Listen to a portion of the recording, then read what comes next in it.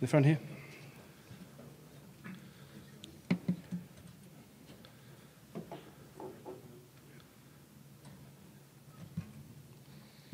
Matt, from a defensive point of view, oh sorry, it's Bryn from Rugby News Service. Um, from a defensive point of view, obviously the last game couldn't have gone any better, really. Um, will you set, your, set the team a similar target of uh, keeping Russia to nil for tomorrow night? Listen, I think uh, that's probably the target every time you play an opposition, but certainly we know how uh, big a team they are and how physical they are. Um, we need to make sure that we're getting off the line and doing a good job in the tackle, and I, I think we certainly did that against Samoa. Um, but we know that there's a big challenge ahead because they are a, a big physical side, particularly in the forwards. So that's that's a challenge we uh, we face at the moment.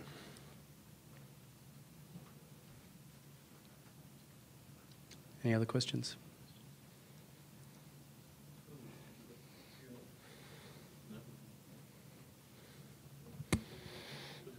Uh, Sorry, we've got one over here. Just put your hand up and we'll, and we'll bring it to you. But we've got a question over here. uh, Greg Stutchbury from Reuters. Um, I know you guys do a lot of work on defence, but uh, the Russians do tend to kick a lot, and that's pretty much their basic game plan. Sure. How do you defend against that, or do you just work on counter attacks?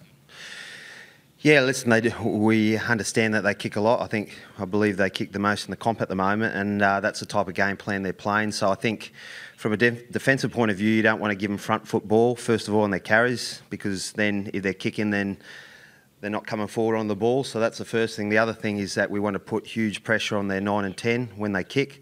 So if we do that, that hopefully presents us with some good counter attack ball. Um, but I think, like I said, I think the initial hits and contacts, we've just got to make sure we're really good in that. And then, secondly, pressure their kicking game. Um, and then, lastly, you've got to make sure that you, you, you're good in the air because you've got to take those. And it's like another set piece for us, really, isn't it? Another ability to attack from. So that's how we're looking at it. In the front here, please. Anthony Newport, PA. Matt, how important will Tommy Seymour be in that sense then, if, uh, if the high ball something that they, they target your, your back three? Yeah, that's an excellent question. Yeah, he's massive. Um, he's very, very, very good in the air, and that's one of the reasons why he's got the nod. And um, he, he's excellent in the air. He's probably, if not our best player in the air, so it's going to be huge. Just, right. this is just still getting translation. Okay. Matt, in the Ireland and Samoa games, in terms of the physicality of them that you produced, and the collision in particular were chalk and cheese, what have you been doing this week to concentrate on making sure you get it right this time around? Well, we've certainly watched a number of clips of them um, being very, very physical with their ball carries. Um, so we've certainly talked about that. We've done a bit of work in terms of our contact and our tackling and our dual contacts. Um, and we've talked about how important this is in winning the game. So I think, uh, as I probably mentioned after the Samoa game, uh, that's probably the template for all teams in this competition at the moment. The teams that are winning the physicality battle, whether it's with the ball, without the ball, tends to be the team that comes out on top. So I think the Samoa game for us was a template. Um, we just got to make sure that we continue that with all games that we play, because as we know, it's basically a quarter final for us with every game we play.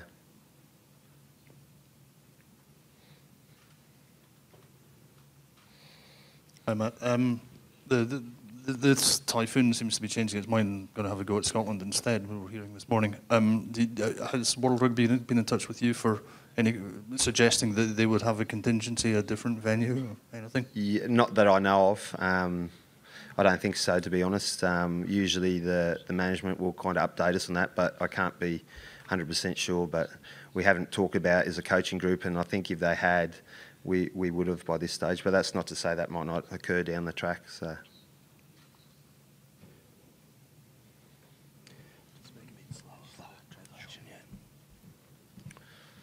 Hi, Matt. Um, one of the straight ahead.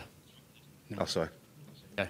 Uh, one one of the sort of big trends at this World Cup seems to be the, the use of the sort of kick pass, crossfield kicks uh, from fly halves to wingers. Um, what what can you and other defence coaches do to sort of protect against that? Protect against that because it seems to be such an effective tactic. Yeah, it's uh, a very interesting tactic. I think um, with defences putting more and more in the front line, there's certainly space behind people's um, front line in defence. So I think you've got to read cues from the nine and tens. You've got to understand a team's kicking game. Uh, I mean, we've had a really good look at Russia. We understand they kick a lot, but we also want to read cues of when they're kicking and basically the types of kicks. So it's a combination of all of them. Certainly this week, when we've been practicing, we've been trying to replicate the, the Russian kicking game, and that's that's part of every game that we come up against and we've probably done it the most this week because of the amount they kick.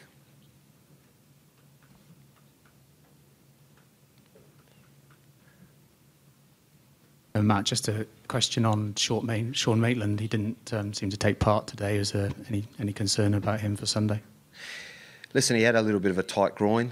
Uh, we're working our way through that at the moment. Um, we're very confident that he'll play a part um, against Japan. So um, yeah, he's just going through the protocols. So yeah, so he's um, yeah, he's, he's he's just going through the protocols, but we're we're confident he's going to be fine for Sunday.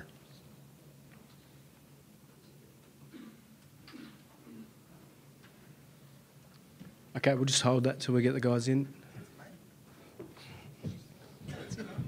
ah, just Sean. Okay. Matt, just to confirm as well, has Allan Dell come through the the head concussion protocols as well? Yeah, Allan, Allan's in a good spot. He's done. He's just done a, a bout of hard contact with me now, and he came through that really well.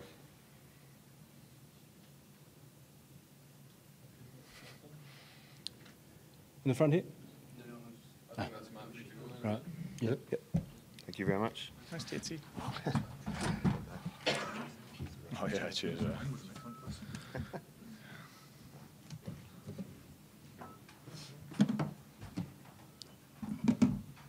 Okay, first question for John.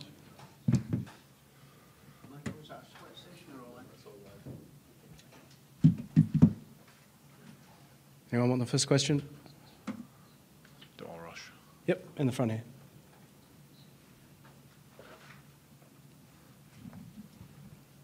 Uh, Bryn Palmer from Rugby News Service. Uh, John, you obviously started the first game and then uh, left out for the last one. Can you just uh, give us an insight into how you've dealt with that situation? Nothing like looking back, is there? Um, yeah, I have been disappointed. Obviously, uh, it's frustrating. Um, the whole game was frustrating, but uh, that's part of that's part of being a player. And um, I think that's the first time I've been outside the squad since I've been back involved um, a couple of years ago. So it's been yeah, it's been pretty frustrating. But the boys played very well against Samoa, um, and now I'm just excited about playing Russia. To be honest. Sorry, uh, could you just use the microphone just because we've got the live translation? Yeah, and then we're a year and a half since you last captained Scotland. How does it feel to be back in the position? Um, is I, I've I've always loved captaining the team, um, but equally it's, it's a strange one. I love doing it, but um, you know it comes with pressures and responsibilities. So when you're not captain, um, you can be a bit more relaxed a little bit, I think. But um, for me, it's a massive a massive honour, especially at a World Cup. Um, there's a big goal of mine to get out here, so to be able to captain the team is big. But on, on you know, on, I guess aside from that, it doesn't change a, a, great deal. I know we've spoken about this a few times, but just you know, when Rambo's captain or Greg, there's still you still have those guys around him. You know, uh, Ryan or whoever else it may be to to bring that leadership. Duncan Taylor, someone else. You know, there's a lot of experience through the team from different teams, and it brings that and helps out. Yep. Yep. Sure, you kind of know the script the big games that a lot of the guys have been rested. You still see this as a chance to work your way into the, the game? Fine. Um, uh, it's a tough one to answer. Uh, the big game for me is probably tomorrow, to be honest. I don't know what team is for Japan. Uh, I'm not trying to be, I guess, facetious about that. Um, I guess the, the, the, reality, if you look at it, is the guys playing are probably on the outskirts that's that's the way you have to look at it. It's not doesn't take a rocket scientist to figure that out. But equally, the guys who are playing are, are motivated. Some guys haven't played at all. Some guys have played a little bit. Um, and you're playing for Scotland in a World Cup. So for me, yeah, it's, it's about putting in a big performance and, and trying to prove that I deserve to be involved against Japan. In the blue shirt, yep. And then behind. Duncan Smith from the Scotsman. John, um, obviously it's a, you were disappointed to be left out, but there's been a lot of talk about how it's a, a squad mentality, and there was a lot of plaudits for Jamie and Magnus and Blade against Samoa. What were your impressions of their performance? Rubbish. no, they were, they were good, weren't they? Um, I, I didn't expect any different. I played with obviously with Maggie and uh, and Jamie at Edinburgh, so I know I know the quality they have, um, and I, I know enough about Blade from uh, speaking to the boys down at Scarlet still to know the quality he has and just from being in, and around him. So um, it's one of those ones where you, you knew there would be a, I knew there would be a reaction. Um, so to be part of that, I, I didn't doubt that the back row would play well. Uh, it was a physical game and those boys were very good, I thought.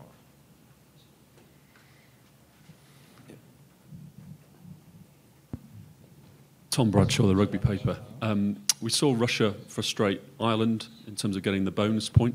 What's the message in terms of how you go about trying to acquire that, that four tries? Uh, I, I, spoke about it a little bit outside just there, just in terms of uh, I've played enough of these games where if you try and score four tries before you've scored one, you can get in a bit of trouble. You know, we're not thinking about that early on. We literally, if we get to 70 minutes and we've scored one, that might be the case.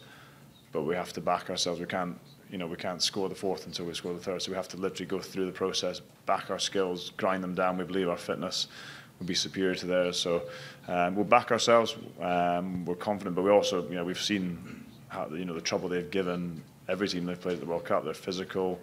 Um, they're hard at the breakdown. They, they make things niggly. They make things awkward. And, and when they have the ball, they're they're abrasive. They're direct. They're they're hard. So uh, yeah, we're under no illusions about it. John, um, sorry, we're just still getting the end of that translating. Okay. Japanese takes a bit longer. John, there, there, are five guys in this squad that haven't played uh, in the World Cup so far. Um, there's others, um, but maybe with a point to prove after Ireland. What's the kind of collective vibe in the in training and amongst the 23 going into tomorrow? It's been pretty good, to be honest. Um, like like you said, there's five guys haven't played at all. Um, you know, they're, they're, sort of chomping at the bit. We've been here over four weeks now, and they've not played a minute of rugby, so that's pretty frustrating for them. You know, I've not played a huge amount um, in four weeks, so uh, throughout the squad, there's, um, I guess, yeah, points to prove um, to selection, uh, but points to prove to themselves. And guys, guys want to go out and, like I said, it's, it's a World Cup. It's the big stage. Um, it's just going to, it's great to be to be able to play for Scotland again.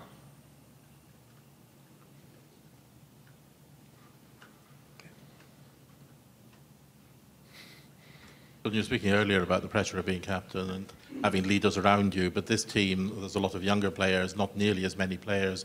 Does that increase the pressure on you? Um, not really, because we've still got some good leaders, um, experienced guys. You know, someone like uh, Fraser Brown or Ryan, um, and you, you, go into the back. Someone like Horney's played, you know, a lot of rugby. Um, Duncan Taylor, you know, won Champions Cups, leagues with, with Saracens, been player of the year for Saracens, Tommy Seymour. You know, there's a lot of guys who've actually played a lot of rugby at the top level there. So um, I, I always think that the job of us is people say, oh, we, we, you know, we have to try and bring our experience, but it's a bit of both. You know, they, they bring a lot of youthful exuberance, a lot of energy. Um, and it's for us in the heat, uh, that can be contagious to have that, those young guys who, who are so full of energy and want to run and want to play everything. That can be great for us.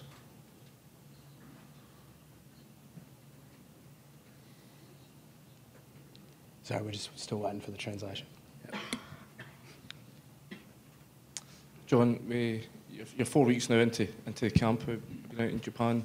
We saw your rather interesting uh, social media post the other day with Mr. Wilson. Just wonder if you can give us any other sort of insights into how you guys have been keeping yourselves entertained uh, in hotel and things like that.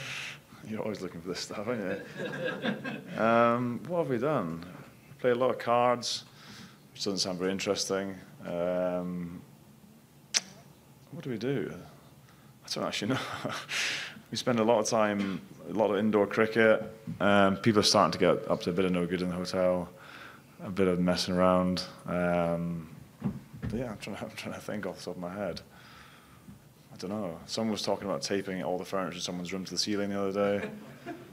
But I don't know. We, we just, I don't know. We, we don't have that much time with the travel to and from training um, and all the sort of boring stuff that we have to do in terms of recovery and uh, looking at computers. And, and amongst that, we, you know, we do the, I guess we do the normal stuff like we're at home. It's just a bit more, I guess, exciting to go out to different places and to um, go and try different things. Um, we went and saw the Joker last night. It's very good. If anyone's seen it, it's very good. Ryan was doing a good impression. But uh, yeah, it's been, it's been it's been fun to be honest. I think tours can sometimes, as much as I love touring, they can drag on a little bit. Um, you know, we've been over, over four weeks now, but I think um, certainly I haven't felt any discontent. Everyone's, I think, enjoying themselves, um, and I guess we're getting to the pressure stages now in terms of it's kind of do or die.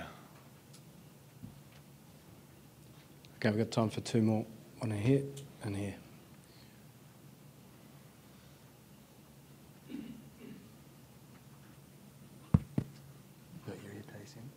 Oh, there's, there's going to be a Japanese. That's what I was for, is it? Well, here we go. Let's give this a go. えっと、静岡新聞の木村と言います。明日は、えっと、スタジアムはちょっと違う雰囲気になるかもしれません。というのも、静岡県内から小中学生、高校生が1万6600人ほど試合を見に来ます。それも学校行事としてです。多くの子どもたちがあ皆さんのプレーを見守っていると思いますが、まあ、子どもたちにどんなプレーを見せてあげたいと思いますか？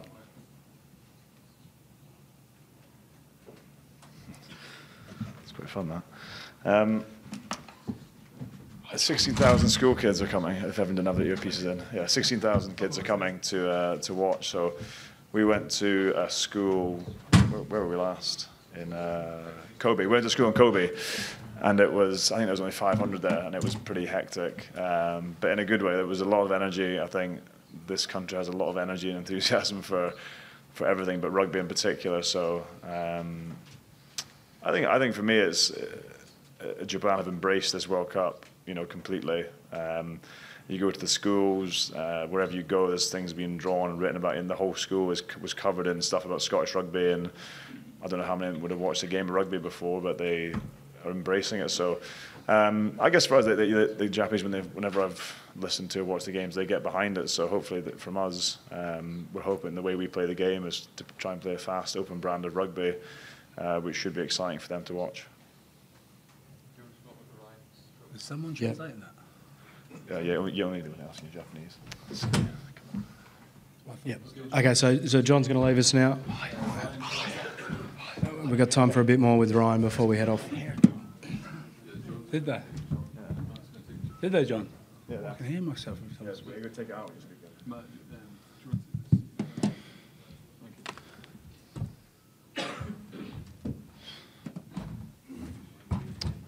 Huh? That's the names there. We've got one in the middle here, and then we'll go to you. Just in the middle right there. Yep. Oh, was it for John? Okay. All right, we'll go here. Ryan, first things first, you were at the Joker last night. And Do I have to wear this? Sorry. No, uh, No, ma- maybe for me. You maybe need to translate you're for saying. me. You probably will need to translate. Only if it's in Japanese. Right, okay, thank God. Uh, That felt horrible. yeah, I'm from, I'm from Motherwell as well, so you might, you'll be all right. Um, you were at the Joker last night, and John says you do a good impersonation. Yeah, I do, yeah, I'll, keep that, I'll hold that back for after the game. Is, is that important to have these, you know, moments of downtime with the team ahead of what is a, a huge game for you boys? Yeah, definitely. Um, you know, we've got plenty of time off. Um, when we train, we train hard, but we've got to enjoy the times off the field. And um, it was just one of the things. Yeah, nipped into the cinema yesterday. I was surprised they showed it in English. It was uh, pretty handy. So, um, but you've you've got to get out and explore this wonderful country. You know, it's a it's a beautiful place, and and we're lucky to be here. Lucky to be at a World Cup. Not a lot of people get the um, get the chance to travel the world like we do. So you've got to make sure you get out and enjoy it. Right Just then. the Second row here. Oh. Uh, Ryan, we spoke to John uh, about this. Guys like you and him would have been expected at the start of the tournament to be wrapped in cotton wool for that final game against Japan. You find yourselves involved in this game. How hard has it been just to, to keep your mind on the level and, and get yourself up for this match, which is obviously still a very important one? Yeah, it's, it's been easy. Um, you know, there's going to be chopping and changing with such short turnarounds, you know, with how people play, with giving people opportunities. So we know that we're here as a squad to do, you know, a job of making sure we make that quarters firstly and then and then push on further. So it's easy. You, you come to train every day with a group of men that are looking, to, you know, to achieve the same goal. So it's not been difficult for me. Any other questions?